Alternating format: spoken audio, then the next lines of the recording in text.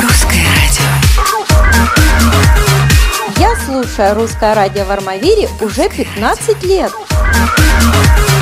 Русское радио. Все будет.